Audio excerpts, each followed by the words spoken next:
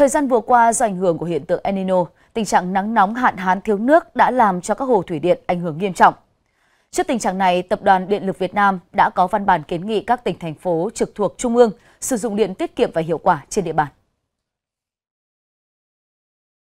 Bộ Tài nguyên và Môi trường nhận định với ảnh hưởng của hiện tượng El Nino, nguy cơ thiếu hụt nguồn nước sẽ tiếp tục diễn biến đến cuối mùa cạn năm 2023. Bên cạnh đó, nhu cầu sử dụng điện đang có xuống tăng cao, đặc biệt vào các mùa nắng nóng và trong tháng 5, 6, 7. Tập đoàn Điện lực Việt Nam đã có văn bản kiến nghị Ủy ban dân các tỉnh, thành phố trực thuộc trung ương quan tâm chỉ đạo công tác sử dụng tiết kiệm điện, các tổ chức, cơ quan, doanh nghiệp thực hành tiết kiệm điện, các trường học, bệnh viện, bệnh xá và các đơn vị chiếu sáng công cộng áp dụng các biện pháp để tiết kiệm điện năng tiêu thụ hàng tháng 50% so với cùng kỳ. Các nhà hàng, khách sạn, cơ sở dịch vụ thương mại, tổ hợp văn phòng và tòa nhà chung cư giảm 50% công suất chiếu sáng, quảng cáo trang trí ngoài trời và ban đêm, sẵn sàng cắt, giảm nhu cầu sử dụng điện khi có thông báo của đơn vị điện lực tại địa phương trong trường hợp xảy ra thiếu điện.